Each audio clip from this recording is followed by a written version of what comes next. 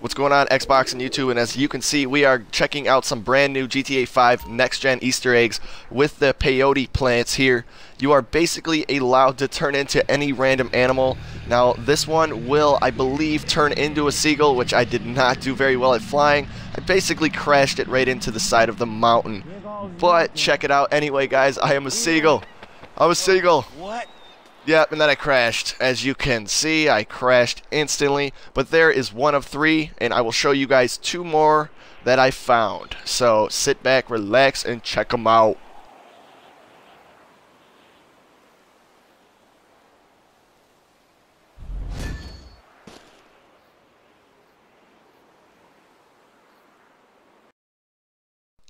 And yeah, guys, I massively failed at that one. But okay, we are on to the second one. The second one is on top of this, like, mountain, like, in between. Uh, it's really hard. I'll show it to you guys on the map right here.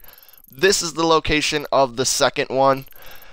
And you pretty much are going to have a rough time getting up here unless you use a helicopter. Or in my case, I used a dirt bike and pretty much wall climbed up here. But right here is the second peyote plant that I have found. And this one will turn you into another bird, which can either be a seagull, um, a falcon, or a crow. And I believe I'm turning into a crow on this one, so check it out. Why? Oh, why? Oh, why? And as you can see, fellas, I am now a crow. You can fly, and you can actually uh, aerial attack people.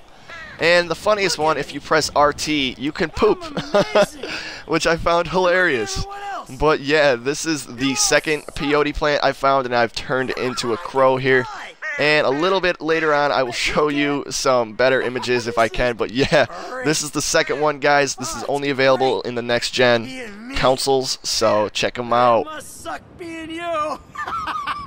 you suck. I don't, and you do. ah, I'm amazing. I've never been better. Wow, I'm the best. Oh, this is great. I'm great. And this is great. And you're not.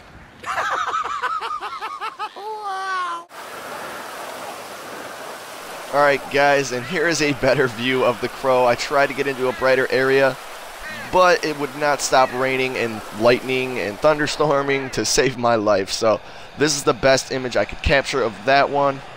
And on to the third and final one I have found this week.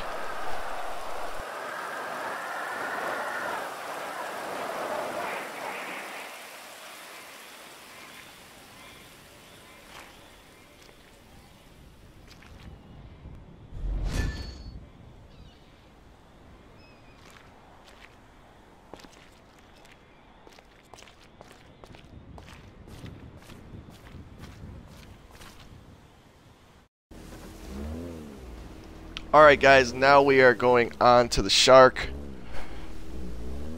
Which is actually right by like the Ferris wheel, right by the pier here. And you want to basically go right by this one pier that seems to be sticking out and dive straight down. And it's kind of on the left hand side of the pier if you're facing the the fair right there. Like, see it right here. There we go. We finally got it. Going into first person mode to get a better angle. And this one will turn you into a stingray, a fish, or a shark. If you guys want to experience all three on each peyote plant, you're going to have to disable your auto save feature and make sure you save the game before you go to each one of these. So you can restart and try each one of them. I mistakenly did not do that. But here you guys see I am the, the, the bull shark here. And you can actually eat people and bite them, which I tried to do but it's quite hard as you can see to actually see where you're going the closer you get to shore. So it was kind of a difficult thing to do, but pretty awesome nonetheless. And for those of you who do not know, there are 28 or 29 peyote plants. And at the final plant, once you have collected them all, there is another secret Easter egg that nobody has quite figured out, and nobody really knows what it is yet. But do your best to find all 28 of them, and you will find out. So once again, everyone, thank you for watching.